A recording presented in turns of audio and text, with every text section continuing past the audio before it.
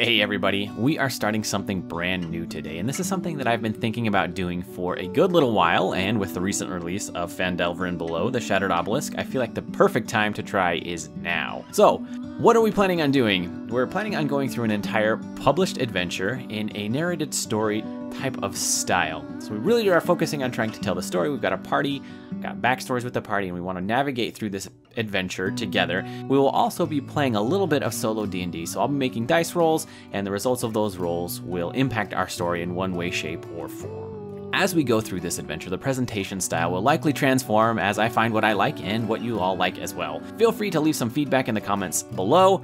Just as a heads up, most of the artwork is done by Midjourney. I've also done some tweaking in Photoshop, and I will also be using the official art from the published book, and will note it accordingly on screen. So with all that being said, let's dig in.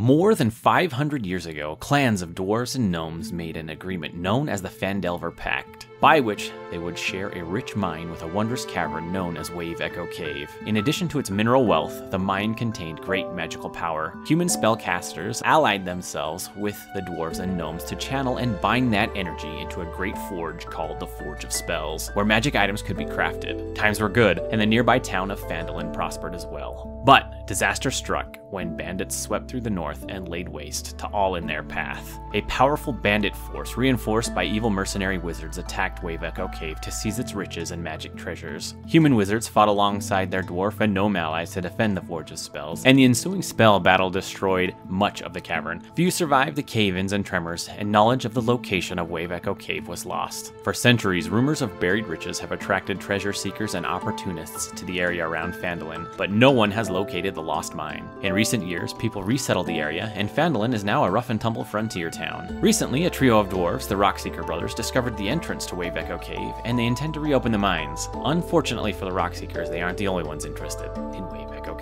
Let's meet our party. The Driftwood Tavern in Neverwinter is a cacophony of laughter and clanking tankards, the air thick with the scent of ale and the warmth of camaraderie. Gareth Stonefist steps through the door, the din of voices washing over him like a familiar embrace. The flickering light of lanterns casts dancing shadows on the wooden beams, and the hum of conversation fills the air. At a corner table, Gareth spots a stout figure dwarfed only by his own determination. It's Gundren Rockseeker, a fellow dwarf with eyes that sparkle with a glint of hope and a touch of weariness. He sits, his gaze fixed on the door, as if willing fate to send him a worthy and willing volunteer. Gareth approaches his footsteps steady on the well-worn floorboards. Master Rockseeker, I presume? He greets, his voice a rumble that carries over the tavern's merriment. Gundren's eyes brighten with recognition. Aye, that's me. He replies, a hint of relief in his voice. And you, my friend, must be Gareth Stonefist. Word has it, you're a dwarf of action and honor.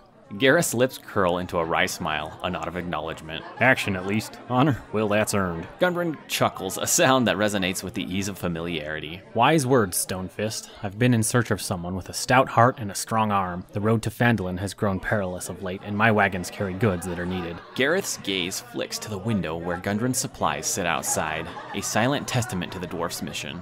And what's the reward for this task? Gundren leads forward, his tone conspiratorial. Ten gold pieces, fair and square. It's a sum that speaks to the worth of the task, but the safety of those supplies is worth far more. Gareth meets Gundren's gaze with a nod of agreement. The tavern around them seems to fade, the world narrowing down to this pivotal moment. Give yourself a guardian, Master Rockseeker. The road to Phandalin shall be safe under my watch. With a hearty clap on the shoulder, Gundren seals the agreement. Good to hear, Stonefist. I'll have the supplies at Orthan's stables just outside the city tomorrow morning.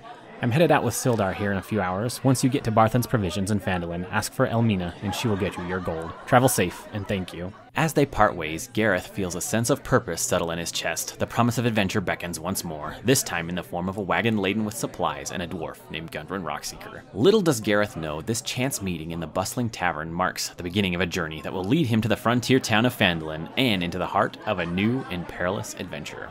Not too far off, the Temple of Selûne in Neverwinter stands as a beacon of serenity amidst the bustling city. Its graceful spires reach toward the heavens, bathed in gentle glow of moonlight. Inside, the temple exudes an air of tranquility, a refuge from the chaos of the outside world. Elena Silverleaf, her silvery hair cascading like a lunar waterfall, kneels in quiet contemplation before the grand altar of Selûne. Her mentor, the venerable Sister Althea, watches over her with a serene smile. Sister Althea, with eyes that have witnessed countless phases of the moon, has been a guiding light light in Elena's journey of faith. Elena, Sister Althea's voice carries the wisdom of ages. the time has come for you to embark on a sacred mission. Phandalin, a frontier town far from the calming embrace of Selûne, has reached out to us. They seek to learn more about Our Lady of the Silver Moon. Elena rises from her prayer, her heart filled with both reverence and anticipation. Sister Althea, I am ready to serve our goddess and share her light with those in need. Sister Althea nods, her silver hair shimmering like a moonbeam.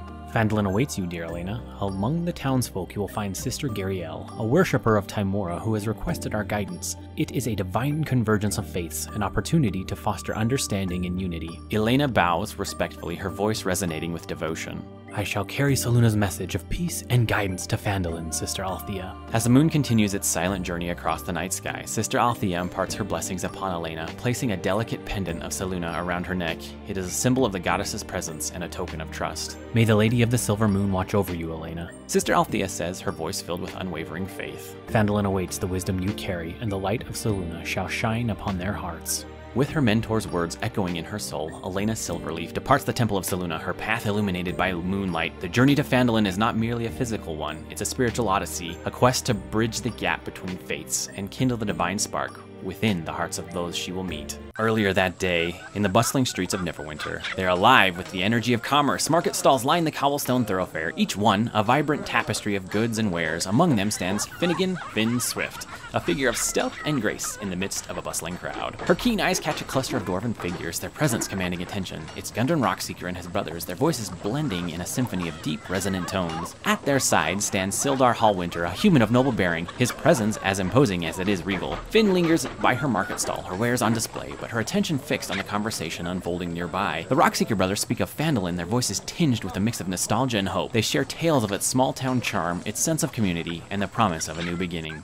As the conversation ebbs and flows, Finn's agile mind seizes upon an opportunity. Phandalin, it seems, is a place ripe for new ventures. Her fingers trace the intricate patterns of her merchandise, her thoughts dancing with the possibilities. With a subtle shift in posture, Finn positions herself to catch more of the conversation. She listens intently as Gundren speaks of the town's potential, of its need for goods and services. The notion takes root in her mind like a seed in fertile soil. Phandalin, a place where she could not only ply her trade, but also carve out a place for herself. The decision forms like a silent vow. Finn will go to Phandalin to see for herself the town that holds the promise of new horizons. She envisions her stall amidst the quaint streets, her wares drawing the curious gaze of townsfolk and travelers alike. As the dwarves and Sildar eventually move on, Finn watches them go, her resolve solidifying. With a determined glint in her eye, she begins to pack her wares. Phandalin beckons, a canvas upon which she'll paint the story of her own success. The Thornwick estate is a bastion of refinement and tradition, its halls adorned with tapestries that whisper of generations past.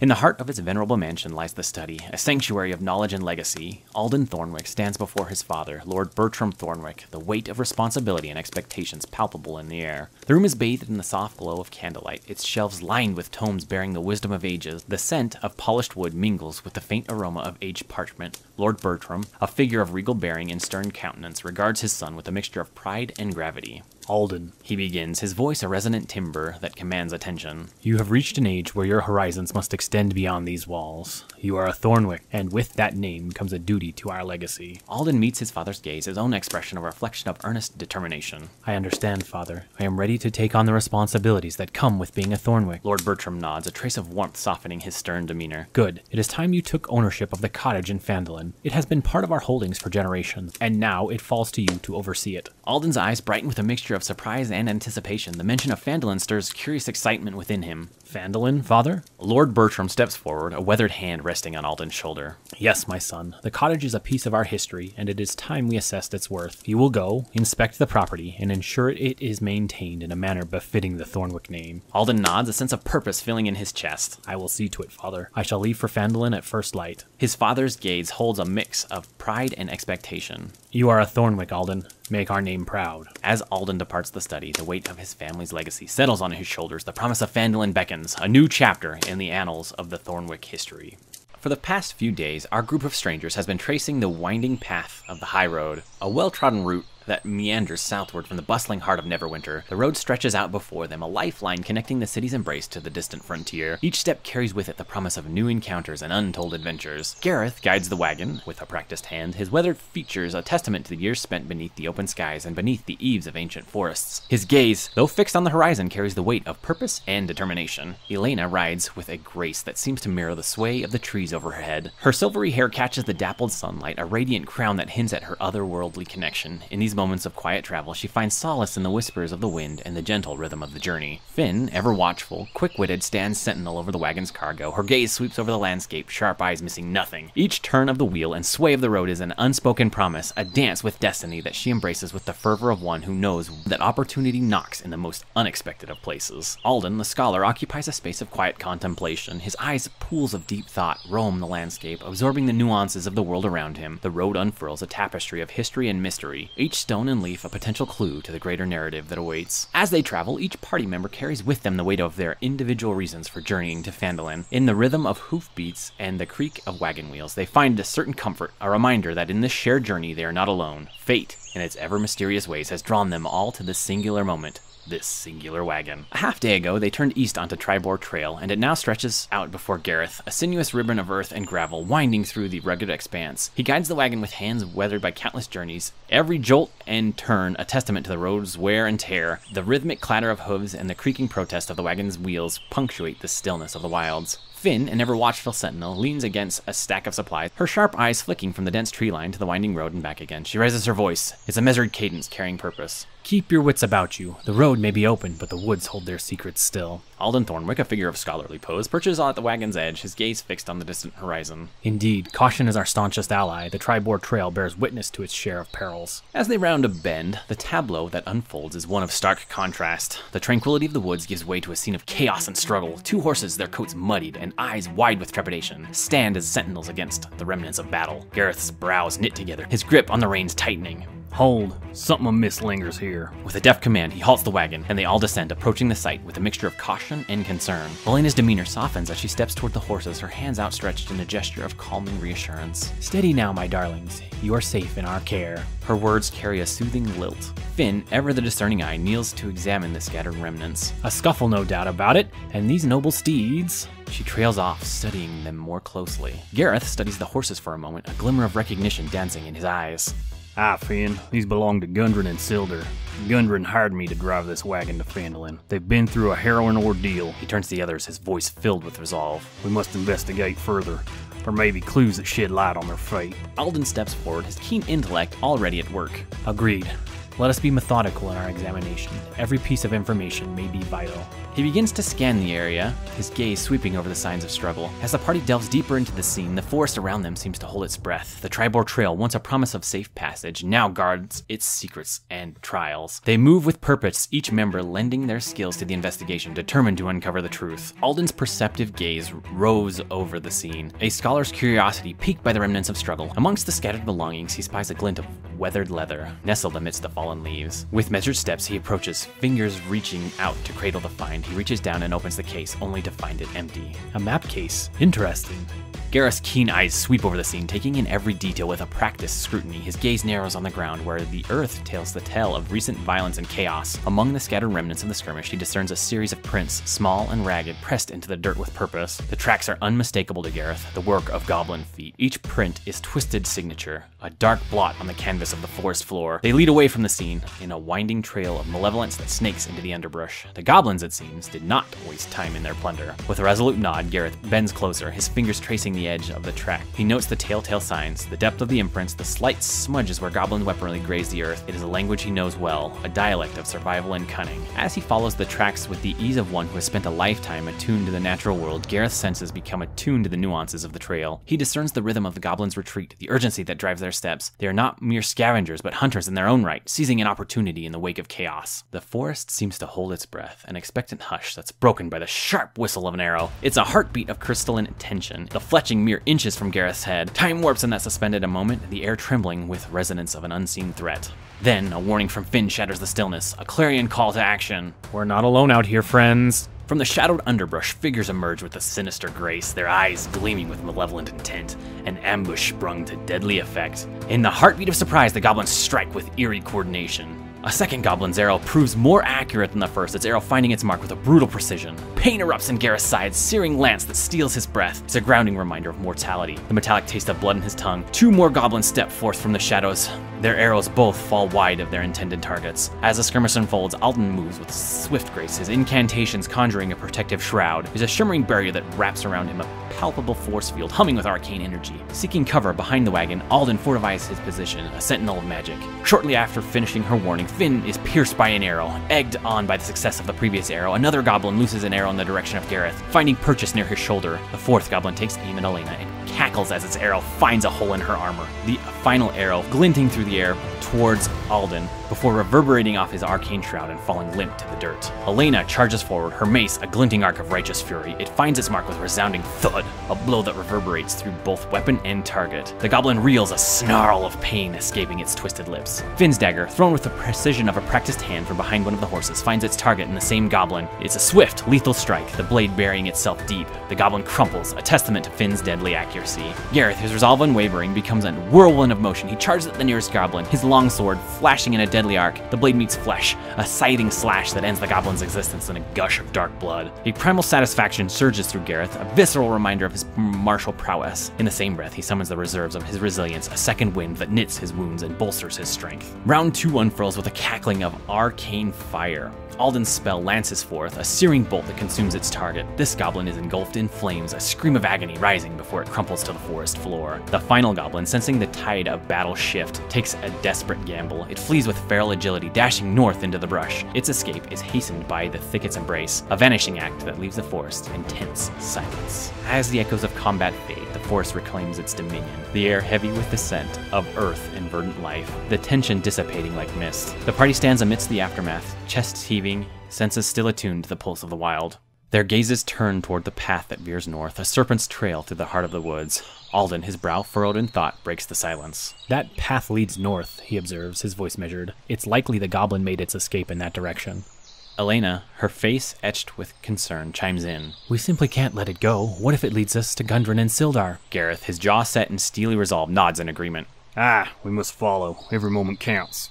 Finn, her expression pensive, interjects. Phandalin is still our goal. We can't afford to be sidetracked. The forest around them again seems to hold its breath, a silent witness to their deliberation. Each party member carries their reasons and convictions, a tapestry of hopes and fears woven into their choices. Alden, the voice of reason, seeks to find common ground. Perhaps we split up. Some of us follow the goblin's trail while the others continue on to Phandalin. Gareth, however, dismisses the notion with a shake of his head. No, we stick together. Strength in numbers, that's what we need. After moments of tense deliberation, a decision coalesces. The party, their fates intertwined, agree to follow the goblin north. It's a path fraught with uncertainty, but one they tread with determination in their hearts. The forest, now a silent sentinel, bears witness to their resolve. The journey continues a tapestry of fate's design woven with each step along the path. Gareth, his broad shoulders tensed with purpose, steps towards the wagon. With a determined effort, he begins to steer it off the main trail and into a thicket of dense underbrush. The wheels creak in protest, but Gareth's strength prevails, and soon the wagon is concealed, a quiet sentinel in the shadows. As the party prepares to head north, Gareth turns to them, his gaze steady. The wagon's hidden now. Should be safe here. Let's determine our marching order. Alden, sharp and calculating, speaks up. I'll take point. My knowledge of the arcane may prove useful in spotting any magical traps or wards. Elena,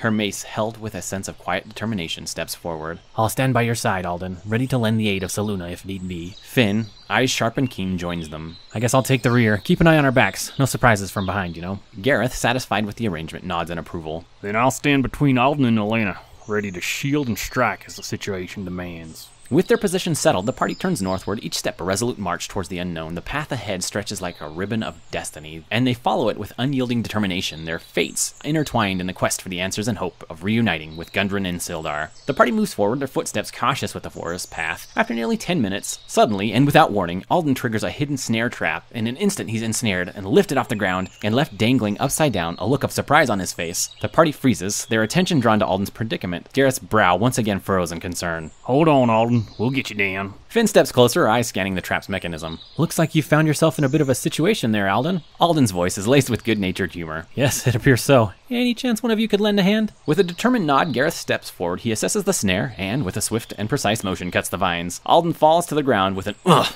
Elena is quick to rush to his side, her healing magic knitting together his minor wounds. Hold still, Alden. I'll mend what I can. The party watches as Alden is tended to, a mixture of relief and solidarity settling over them. Before the party continues, Gareth instructs. Keep your eyes open for more traps. I have a feeling that wasn't the only one on this trail. The party continues forward, caution in every step. Alden, once again leading the way, this time keeping a much keener eye. As the party continues down the forested trail, Alden's keen eyes catch a subtle disturbance in the earth, revealing a concealed pit trap. Alden's voice carries a note of urgency. Hold, everyone. There's a pit trap ahead. It's well hidden, but I've spotted it. Gareth leans forward to get a better look, his eyes narrowing at the potential hazard. Good catch, Alden. We need to be careful. Finn, can you see if there's any way to bypass it? Finn crouches near the edge of the trap, studying it intently. Hmm. It's cleverly disguised, but I think I see a safe path around it. Just follow my lead. Elena watches with a mix of admiration and concern. Be careful, Finn. With a series of deft movements, Finn guides the party around the pit, each step deliberate and sure. They move with a collective sense of caution, relying on one another for support. Once they've safely passed the trap, Gareth claps Alden on the shoulder. Well spotted, my friend. Your sharp eyes may have just saved us from a nasty fall. Alden smiles in acknowledgement. Just doing my part to keep us all in one piece and trying to learn from my mistakes. The party continues on, their senses heightened by the close call. And here is where we leave our group of adventurers. Let me know what you think of things so far and how you think our party will handle the upcoming challenges that await them. Thanks a ton for watching. Special thanks goes out to my patrons. You're all amazing. We will catch you all in the next one.